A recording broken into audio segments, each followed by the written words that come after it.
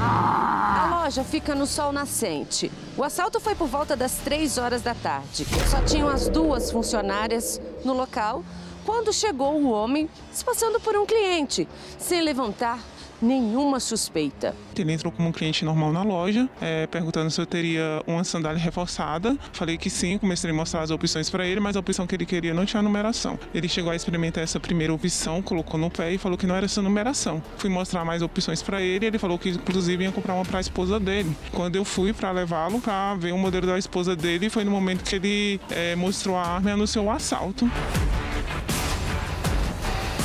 Depois que o criminoso mostra a arma que estava na cintura, ele manda que as duas funcionárias sigam para os fundos da loja, no estoque.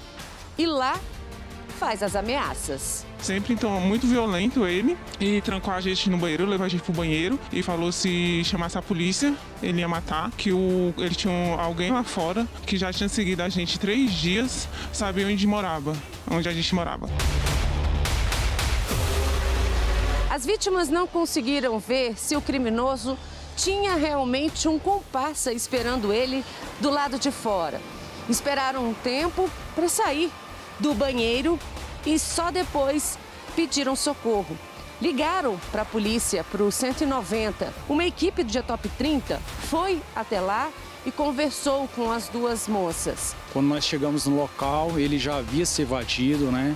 Havia levado ali todos os aparelhos eletrônicos, celulares avaliados em mais de 6 mil reais, tablet, dinheiro e os chinelos que são comercializados lá na loja. O que chamou a nossa atenção quando nós vimos o vídeo foi a camisa de uma empresa. Nós, em uma consulta rápida na internet, descobrimos ali o telefone da empresa, fizemos contato lá com o RH e a partir daí nós conseguimos é, identificar e localizar o autor dos crimes. E apresentamos ele na delegacia onde ficou preso pelo crime de roubo com restrição de liberdade, porque ele deixou as vítimas amarradas lá no fundo da loja.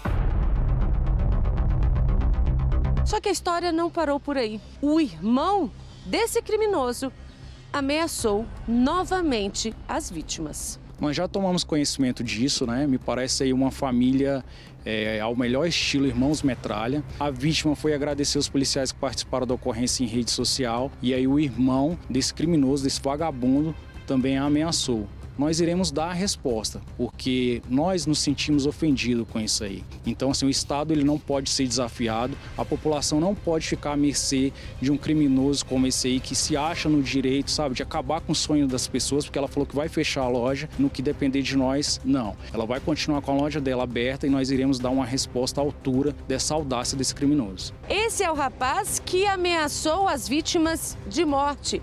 Ele que já tem várias passagens pela polícia.